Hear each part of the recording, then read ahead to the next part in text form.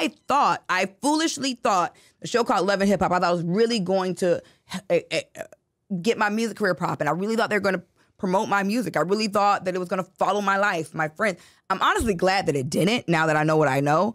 But I didn't realize that everything was going to be produced, controlled, contrived. Like, I didn't know, like, I thought that I was going to get a camera crew and they was going to follow me around. And, like, you know, that's that's what I foolishly thought. I didn't realize I was going to get a call time and a general idea of how to dress for what I might be doing. And then when I get there, they pick me up and take me so I can't leave on my own recognizance. And then they take my phone from me so that once they tell me what I'm doing, I can't text nobody and say, girl, we got to talk about this. You know what I'm saying? So people always ask, like, is it real? Is it real? Like, it's like, you know, when you're in school and you had to write a paper, and before the paper, you wrote an outline. Mm. And then you write a paper from that outline. They write the outline, and you write the paper. So it's like, technically, like, I'm saying, I'm choosing what I want to say based off what they, they're forcing me to talk like about. you should be doing. Y- they tell me the topics. Yeah. Okay, today you're gonna talk. You're gonna meet You with this put person. some type of action to that. So- that you feel like. so they give you what you have to do, and then you choose how you have to do it. But it's like at the drop of a dime. Like literally, I pull up, they tell you, then you go in, bam. And it's like you got to focus on. Okay, he's my, here's my. I got to hit these five beats with this perfect stranger I don't fucking know. And then let's say me and you are filming together for the first time, and you don't know shit about me, I don't know shit about you. We didn't even know that we were filming together to have tur- a chance to even Google each other. Right. You know what I'm saying? So they tell me, Masika, ask Sharp about, tell Sharp you ran to Melissa and she's so sweet. Now I have no idea that Melissa's your wife that you're going through a divorce with, and she fucked your brother or some shit. So I'm like, oh my god, I just was with Melissa and her boyfriend, not knowing that you know you got that like you know what I'm saying. So now you're like, this bitch talking about my ex-wife with another nigga, but I don't know. I don't fucking know that. You know what I'm saying. So now you got a split second decision to try to figure out how to react. Like, and and, and it's so fast that you can't figure out did they tell her to say this or now you're just mad. So we get we get the whole scene, whatever whatever the case may be. We don't know each other. We don't have phone numbers. Now they have you go film with two bitches that hate me. And then they're like, oh, that mistake. And you're like, yeah, she was messy. She did say this. She did say that. So then three weeks go by, we ain't film with each other, but they had me film with your enemies. They had you film with my enemies. Now we come back together. I don't know you know me, but now we hate each other. Cause now we had five scenes with people that talking all types of shit. So now you think I really meant it. I don't even I still don't even know You who feel was it. like? Do you feel like that's what you and Johnny Blaze low key went through? Oh no, that was different. I'm just saying, like, is the way you kind of Nah, that was completely different. So that- so that was a different show. Like, That was a different show. Granted, but I'm just saying it still has the same type of Completely different. Base. It was completely different. Uh, I now I'm gonna tell you why it's completely different. Oh, okay. And I'm, I can say this because I don't. See I don't have an it NDA with growing up hip hop. I'm about to tell you. but it didn't I'm about to tell matter. It was still painting It the looked same the narrative. same. It looked the same. It's still painting the same narrative. Right. So with with love and hip hop, you didn't know what you were getting yourself into. With growing up hip hop, you knew what you were getting yourself into. They still found ways and edits to manipulate the shit. But like me and Johnny did that together and we were in cahoots. Like we, we were actually laughing so hard in that fucking scene where we were pretending to fight. They had to keep making takes. Like they asked us to do it. Like we was like we was like it probably took an hour to get through that little argument just because we was we, we kept laughing and like I'll be fake fighting. it was that shit. so that's completely different. Love and hip hop that never happened. Like love and hip hop was all like just shit that so growing up hip hop like when they cast me for that I lived in LA they they had me come out to Atlanta to do that. So like basically every scene I shot like it had to be like planned and put together. Like they had to ask us if we would do it. We we spoke on the phone to each other. We went to eat afterwards. Like so that's a completely different like we was just we we was just doing what we had to do. That was some funny shit honestly. We had fun that day. And Johnny's my girl. I fuck with Johnny. Like I like you and Johnny seem me and Johnny like never had any beef. Y'all Like really had a. that's I because mean, we're good actors. Right, I mean, but doesn't that take away from, like, I mean, because everybody knows like reality TV has some type of false narrative somewhere throughout the mixture because it's still gonna make this a sweet mix, you know. But to find out like that it's just all bullshit and just all drag, like. I mean, We're- we're I all would say actors. I would say who would want to watch that, but Everybody. I- everybody's gonna want to watch. We're all that, actors. The beauty of it is that they don't they don't think it's acting. But I love to hear some. I love to bring somebody here that can like pour that out on the Matter of fact, table. shout out to fucking quick. Johnny Blaze. Yo, we had fun that day. We really did. She's a talented, dope ass singer, dope ass artist. She's a dope ass I mean, you were telling her like you gonna buy her. She had a fake bag. You was, he was really on her. Y'all was really talking. We like, did it. And, it. and honestly, like, She like was talking about, and I think the narrative, if I if I quote, like I think it was something along the lines of her fucking with your baby daddy. That's what they tried to make it. You tried to come talk to her about that, like and confront her, because I was like this when I wanted to talk to you about. I'm like, man, that shit look weird, and I was like, if that is the motherfucking case, I'm like, ain't you supposed to be the queen bee? You never sit there and go bow down and go lower to go talk to anybody Nah. about that. If anything, you should be talking to your man. but now but here's the craziest part about that.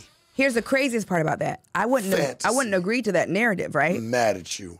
Here's the th- here's the crazy part. This shit blew my fucking mind. this shit blew my fucking mind. Okay, now you know because you're in production, so you know what room tone is, right? Mm-hmm. So for those of you that don't know, whenever you're filming any TV show, reality show, whatever the case may be, there's something called room tone. At the end of whatever the film day is, they call room tone. Everybody has to shut the fuck up and they just record the background sound from the room. Okay, they record the background sound with everything that's in the room.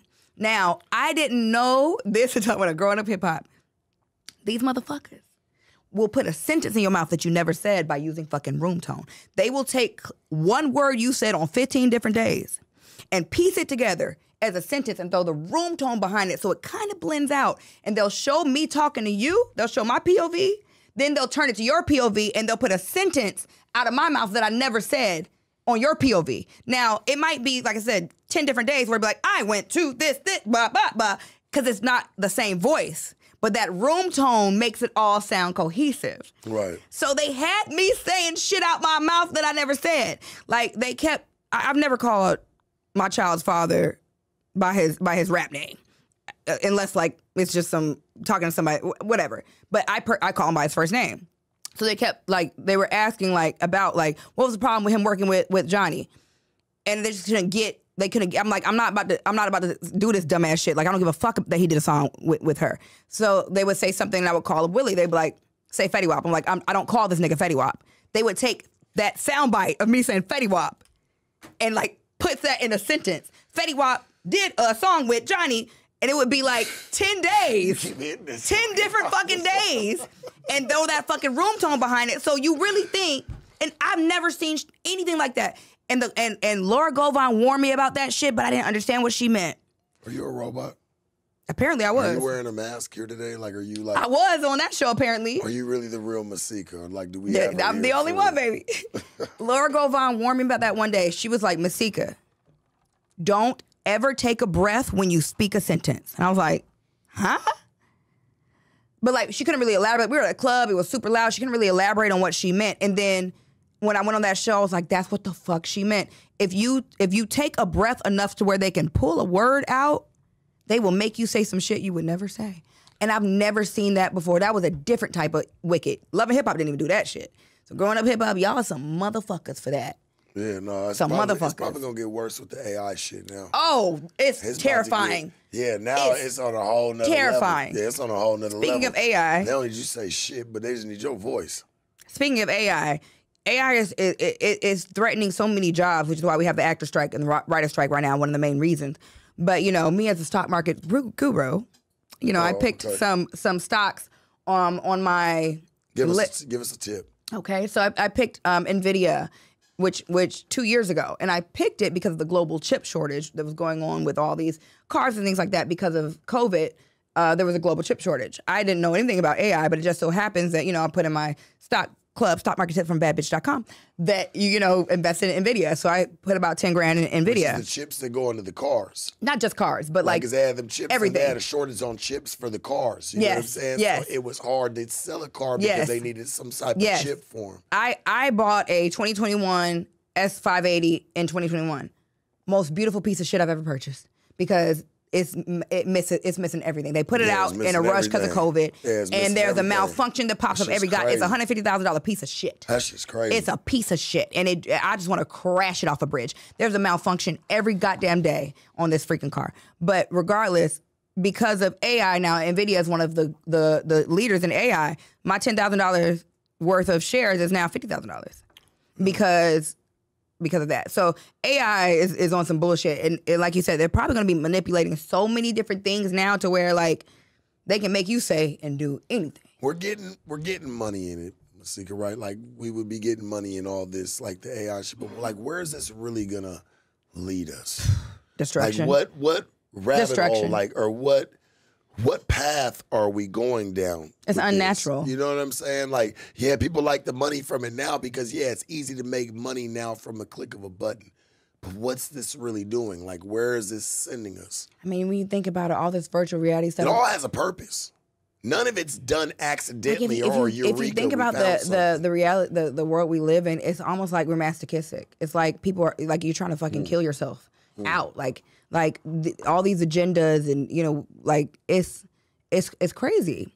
It's like we're we are creating a universe that we literally can't procreate or produce in.